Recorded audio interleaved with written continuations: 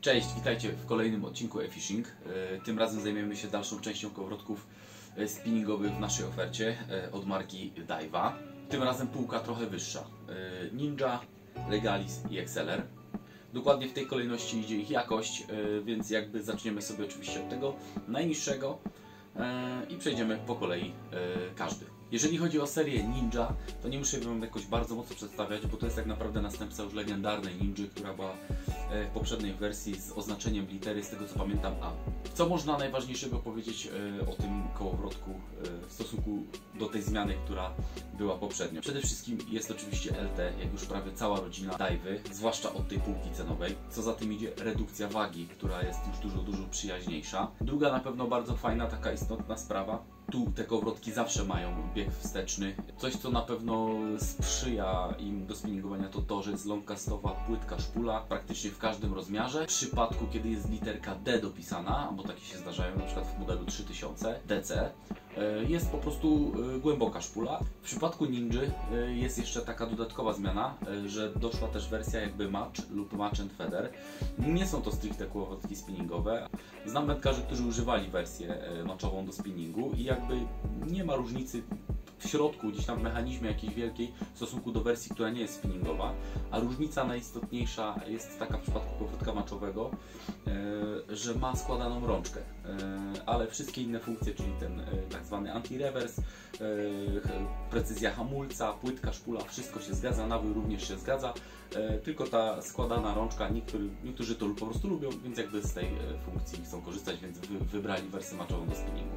Częstym pytaniem w stosunku do Ninja, yy, gdzieś tam z rozmów bądź z rozmów telefonicznych z klientami, było pytanie, co w przypadku, kiedy kupimy większy bądź mocniejszy kołowrotek do takiego mocniejszego czy takiego bardziej ciężkiego spinningu. Moja odpowiedź brzmi taka, wszystko zależy od nas samych, jak będziemy dbać o ten sprzęt, ale na pewno nie jest to najlepsza, najlepszy kołowrotek, czy też najlepszy wybór kołowrotka do takiego ciężkiego orania główką 35-40 gram. Tutaj trzeba by troszeczkę dołożyć jednak pieniędzy i doinwestować, ale jeżeli mówimy o błyskach wahadłowych, 20-30 gramowych, rozmiar, w przypadku rozmiarze kołowrotka 4000, jak najbardziej Ninja jest do dyspozycji do takiego ciężkiego, myślę, że możemy nazwać to spokojnie szczupakowego e, łowienia. Oczywiście, jeżeli chodzi o wersję spinningową, to tutaj warto wziąć pod uwagę, że rączka jest klasycznie e, składana poprzez skręcanie.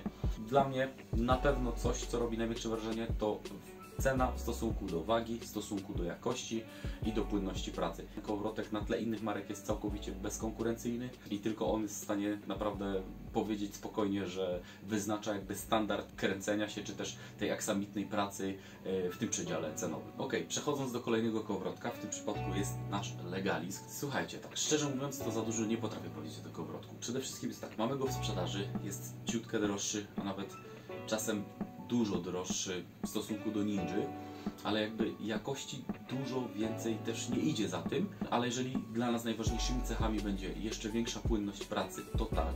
Pożądamy kołowrotka, który będzie odporniejszy na cięższe łowienie, tak jak w przypadku Ninja, gdzie mówiłem o tym szczupakowym, takim ciężkim łowieniu, czy też sandaczowym z dużymi główkami. No i myślę, że taką trzecią koncepcją to to, że po prostu znowu gdzieś te parę gramów na podobnych rozmiarach z wagą zeszli. Ale słuchajcie, jest jeszcze jedna kwestia. W pewnym momencie w Legalisie wyszła jakby druga wersja LT. Nie potrafię Wam powiedzieć dlaczego tak jest. Jakby z opisów da się znaleźć wiele różnic w przypadku tych kołowrotków. To na pewno dla mnie taką znaczącą y, różnicą jakby jednego drugiego oprócz koncepcji wyglądowej. Ale coś, co mi się jeszcze bardziej rzuciło, to dużo lepiej i bardziej precyzyjnie wykonana szpula. Czyli ta szpula jest z tą koncepcją long cast, która jest po prostu w tych wyższych modelach. Oczywiście standardowo składana rączka, tak jak w przypadku innych kołowrotków, anti-reverse, czyli ten y, bieg wsteczny, bardzo precyzyjny hamulec, no płynność pracy, no to już po prostu wydawałoby się, że nie da się lepiej, jednak się dało tutaj to zrobić. W tym przedziale cenowym między Ninją a, a, a Legalisem powinien paść tak naprawdę w przypadku lekkiego łowienia, tak naprawdę troszkę bardziej gdzieś nas design może zachęcić, e, a w przypadku cięższego łowienia, no to zdecydowanie Ninja odpuszczamy i wybieramy sobie wtedy Legalisa. On troszkę więcej zniesie, może nawet nie troszkę, ale po prostu więcej zniesie, jest bardziej odporny, że tak powiem, na te cięższe e, warunki, cięższe łowienie. Ok, przechodzimy teraz do Excelera, czyli najdroższej półki z dzisiejszych omawianych kołowrotków. Słuchajcie, o Excelerze, ogólnie o serii Exceler można byłoby napisać już powoli mini, mini książkę albo taką broszurkę, przynajmniej o, o, o jakby ich odsłonach, bo było sporo. Sam użytkuję jeszcze jednego z Excelerów, który był jakby ostatnim Excelerem, gdzie po nim już weszła, można powiedzieć, seria LT i powiem tak, no i kręci się do dzisiaj, już 6, nawet może i 7 lat kręcenia tym kołowrotkiem i wszystko jest ok.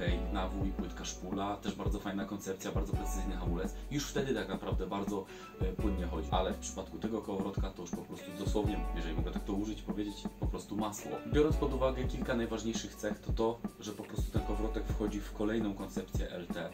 On jest jeszcze lżejszy i jeszcze z płynniejszą pracą. No po prostu poezja, jeżeli chodzi o kołowrotek E, to jak powinno to się po prostu kręcić, działać, to to jest po prostu przykład mm, profesjonalnego wykonania e, kołowrotka. Ale skupiając się na dwóch aspektach. Jeżeli chodzi o lekkie łowienie, czyli smóżaki, jakieś twisterki, e, malutkie błyski, jak najbardziej, czego, jaki model nie wybierzemy w tym przypadku, jeżeli chodzi o wersję czy 2,5 tysiąca zwykły, czy 2,5 tysiąca XH z szybkim przełożeniem.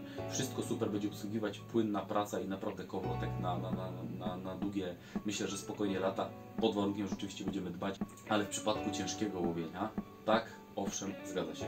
Jest w przypadku dużych rozmiarów jest bardziej dopracowany. Jest kilka rzeczy, które się za, zaczerpnięto również, można powiedzieć, z takich trochę wersji morskich kołowrotków. I tu na przykład tą sytuacją jest to, że rączka nie jest w ogóle składana. Rączka jest odlewem, który po prostu musimy przykręcić zgodnie z kierunkiem kręcenia kołowrotka. Co to daje? Przede wszystkim to to, że jest trwalsza, przede wszystkim to, że się nie odkształca i przede wszystkim to, że nie ma luzów w miejscu, gdzie jest połączenie. Jeżeli chodzi jeszcze o Excelera, to, to na pewno z całej tej tutaj e, naszej trójki, jakby jeżeli chodzi o rodzaje, e, no to jest najlepszym wyborem. Nawet jeżeli byśmy chcieli, a lubimy na przykład delikatną pracę, a w zupełności zadowala nas rozmiar 3000 z tak zwaną pół e, płytką szpulą, jak najbardziej do federa można użyć, do spławika jak najbardziej można użyć. Przede wszystkim przemawia za nim waga, która będzie po prostu idealna do tych metod łowienia, zwłaszcza do spławikówki czy na przykład bolonki. Jakby tak porównując te wszystkie kołowrotki, to między Legalisem a Ninją różnica jest dosyć nieduża, ale jeżeli porównując Ninja z Accelerem, to można powiedzieć, że jest dosyć duża przepaść i tutaj sprytnie spróbowali ją wypełnić właśnie tym Legalisem.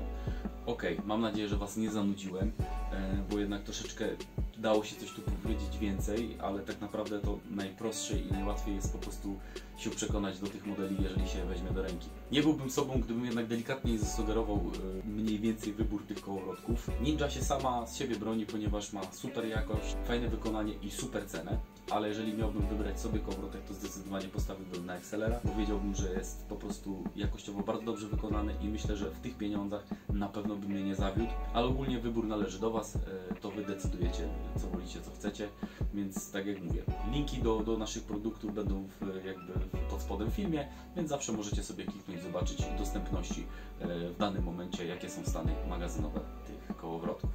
Mam nadzieję, że Wam się podobał odcinek. E, coś niecoś wyjaśnił, coś niecoś pokazał, e, który, która maszyna będzie odpowiednia dla Waszych celów. A nie przedłużając, oczywiście standardowo Was proszę łapkę w górę, łapkę w dół, subskrypcja, dzwoneczek. Jeżeli możecie, udostępnić oczywiście ten film na swoich social mediach. No nic, a na dzisiaj Wam bardzo dziękuję i do następnego. Trzymajcie się, cześć!